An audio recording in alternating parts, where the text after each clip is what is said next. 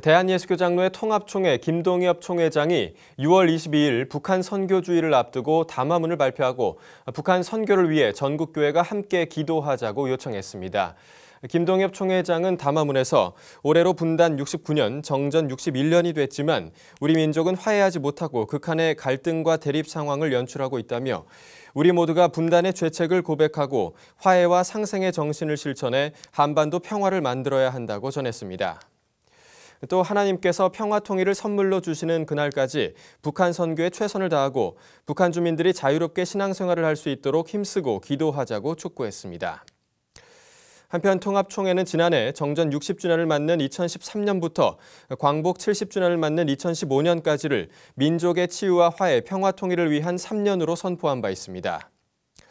지난해에 이어 올해도 6월 23일부터 8월 15일까지를 특별 기도 주간으로 선포해 묵상 자료를 준비했으며 묵상 자료를 활용할 수 있도록 스마트폰 애플리케이션도 제작해 교단사나 전국 교회 동참을 요청하고 있습니다.